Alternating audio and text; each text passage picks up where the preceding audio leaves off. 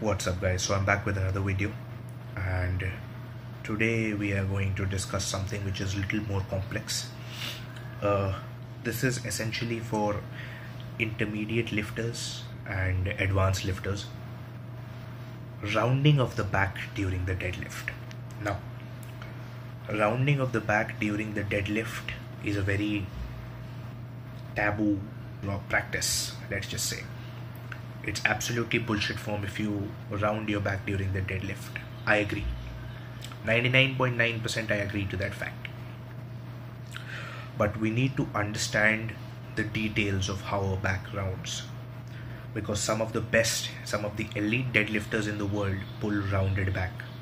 Now, there are two parts to your back. One is the lumbar region and one is the thoracic region. The lumbar region, let's just say, is the spinal area. It is the lower back. And then the thoracic region is going to be your upper back. When you're performing the deadlift right lumbar rounding is a recipe for disaster.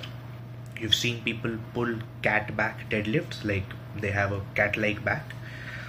That is a recipe for disaster never pull a deadlift like that. Lumbar rounding should never happen. It, the amount of shear stress that it puts on your spine the amount of axial loading that it puts on your spine will will maim you. Don't do that.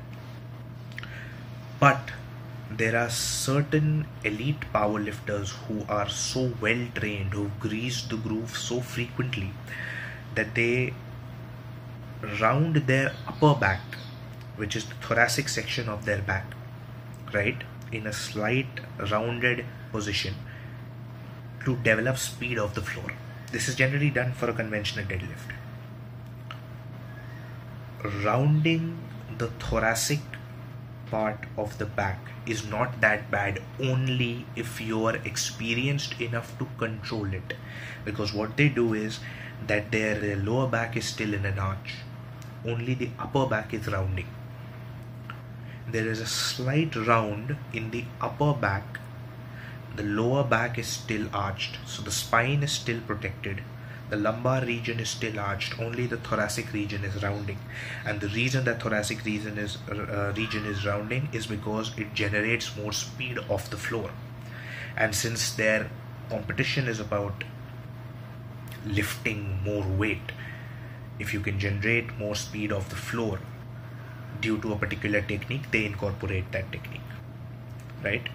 But this is we are talking about people who've been training for 15 years 20 years. I've been training for almost 9 years now.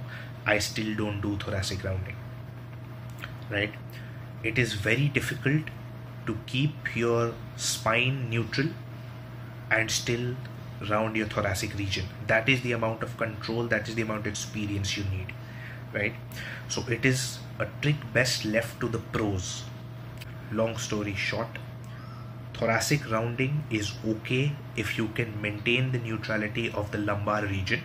Essentially, if you can maintain the neutrality of your spine and round the upper back individually, then it is fine because it can generate more speed of the floor. That's it. It should not be done by beginners don't use it as a justification to justify your cat backed deadlift because a cat backed deadlift will only land you in the emergency ward of a hospital, nowhere else.